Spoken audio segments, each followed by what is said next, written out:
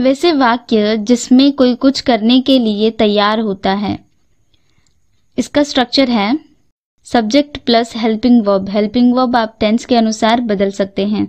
Plus ready plus to plus verb plus others तो चलिए हम कुछ सेंटेंसेस के द्वारा समझते हैं। वह खेलने के लिए तैयार है। He is ready to play मैं जाने के लिए तैयार हूँ। I am ready to go वे लोग आने के लिए तैयार हैं। They are ready to come Suraj बात करने के लिए तैयार है। Suraj is ready to talk Seema गाने के लिए तैयार है।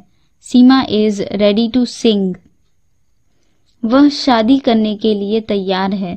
She is ready to marry अगर आपको सच में इंग्लिश सीखना है और ऐसे ही वीडियो देखते रहना चाहते हैं तो प्लीज़ चैनल को सब्सक्राइब करें। Thanks for watching